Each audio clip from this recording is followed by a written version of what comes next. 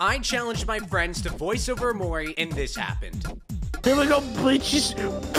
He's so majestic. Well, that's what I call nice blast. Wow, just look at this place! Kel, don't talk with your mouth I'm full. Stop eating the seed. But it's so salty and good. Well, hello there, friends. The name is Humphrey. Hello, Humphrey. We're just looking for someone. Oh, no, not at all, children. I do love visitors.